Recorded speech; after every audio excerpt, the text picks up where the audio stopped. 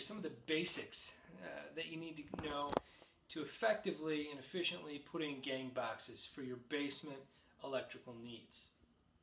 A few of the tools that you're going to need to get this job done are a pencil and a tape measure. Those are the most basic tools you're going to need. Maybe a hammer or a drill uh, and some screws depending on what kind of gang boxes you have. For us, it's going to be um, a hammer.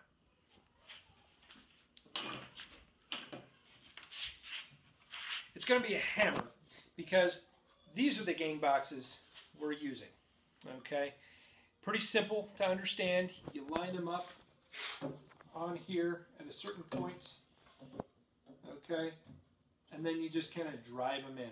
And they do have little tabs on here that do account for the sheetrock once everything's put in place. Other tools that you may want to use are going to be maybe a level, a chalk line, and a couple of nails just to hold that chalk line in place. So we're going to jump forward and start getting this project underway, demonstrate everything that you may need to know to put this up.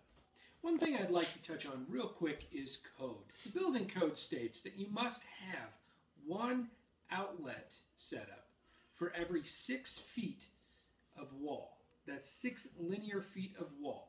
So basically, in any one direction, you need to have an outlet. So when it comes here to the corner and shoots off this direction, you need to have one outlet every six feet, minus doorways, of course. So without any further delay, let's go ahead and get into the project.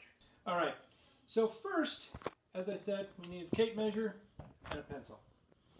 So when I measure this, I'm going to need to account for where my workbench is going to be. Because some of you, I'm sure, are asking, why are you going to put a gang box for an outlet this high? Well, I'm going to have a workbench that comes up to at least this high, 37 inches. Okay, so that workbench itself is going to be two to three inches tall. So we're going to want to have a gang box up even a little higher. So we're going to go ahead and measure from the floor, okay, to get our rough estimate. And then we can go along the rest of the 2 by 4s We can skip every other one, or if you're very OCD, I would say go ahead and do every one.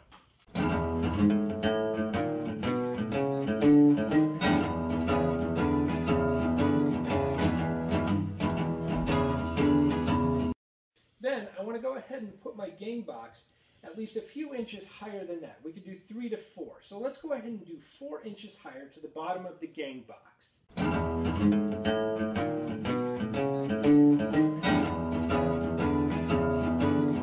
So now we're going to go ahead and just measure the rest of them out at 45 inches.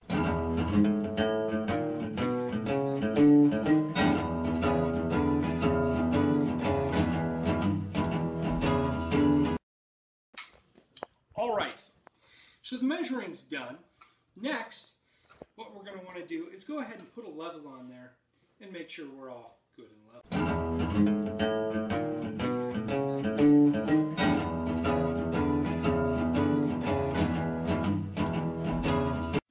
So now that we've gotten that part done, the next step is to go ahead and prepare our chalk line.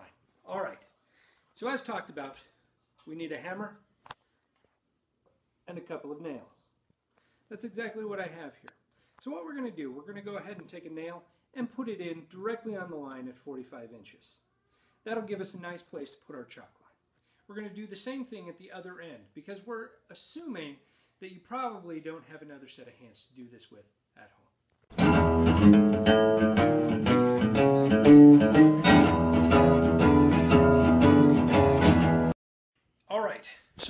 For the chalk line.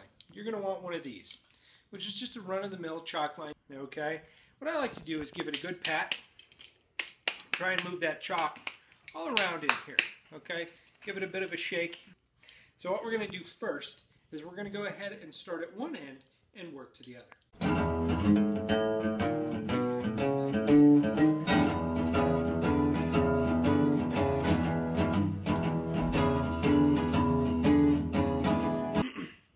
So there we go. Our chalk line, as you can see, is strung out along the wall. All we need to do now is just give it a good pluck I recommend starting in the middle of your wall to make sure you get the best chalk distribution as possible.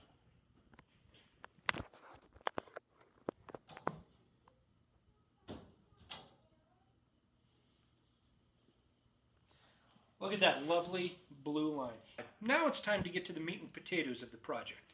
So as talked about earlier, these are pretty foolproof, pretty easy to use. You just line them up with the wall. They have little tabs. Can you see those there? Right there and right there. It's very simple. You line those up with a 2x4. Let me grab a scrap piece of wood and show you what I mean. So I've got a scrap piece of 2x4, little piece I cut off an end, and I've got our gang box. So I want to show you how this works.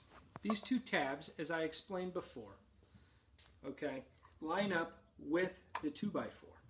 Okay, very simple. So you take your edge right here of the 2x4 and you just push that gang box in until it just makes contact with that 2x4. And you can see it ends up being fairly even. Use that as a guide to know where you need to be. So we're going to get started. We're going to start with gang box number one. We have to take into consideration that this concrete floor may not be 100% level.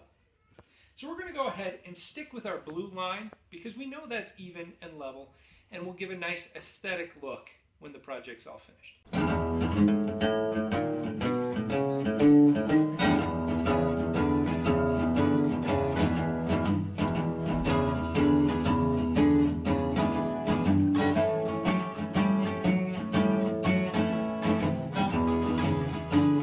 So as you can see, we've gotten all three of our above bench gang boxes in. So we have one, two, and three. This is going to be used for any needed power equipment or electrical equipment that we may need to use for any of our further projects that we're going to do once this office is complete. All right, guys. Thanks for watching. If you found something informative here, please like. It does help. As always, if it's informative and interesting and you'd like to see what's to come and more videos like this one, please subscribe up here in the corner. I'll put an annotation that'll link you right to the subscribe button. Thank you, everybody. Have a wonderful day.